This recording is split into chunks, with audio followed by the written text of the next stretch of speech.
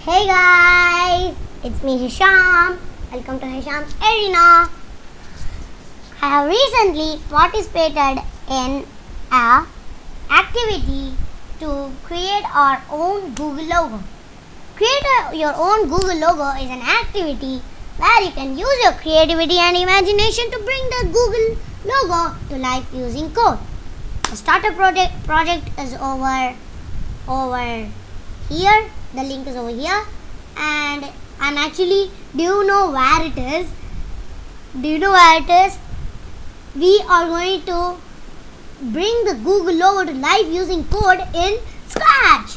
So I had participated, and my um, project had been added.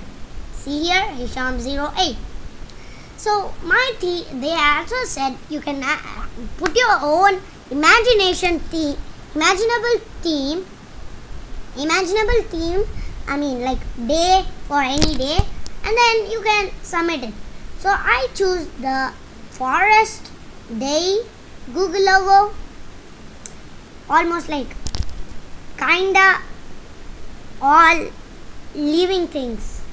They Google logo let me go and so don't read the instructions. Don't read the instructions.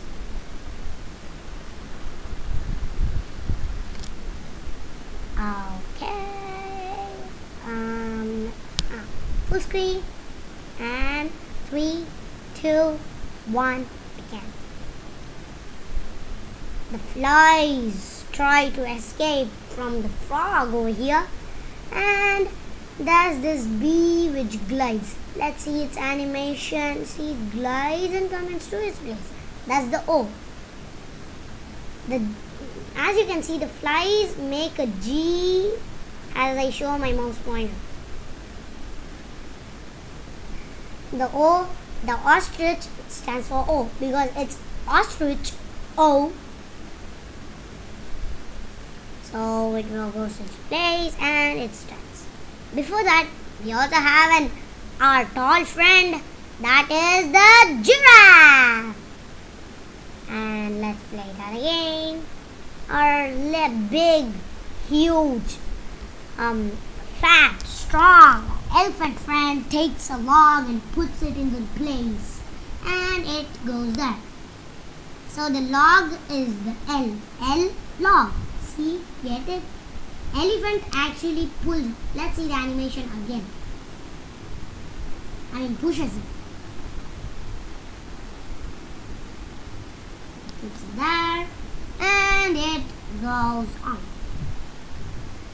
So did you like this Google logo?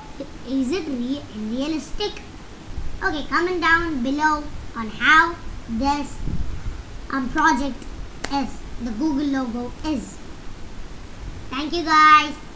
See you next time.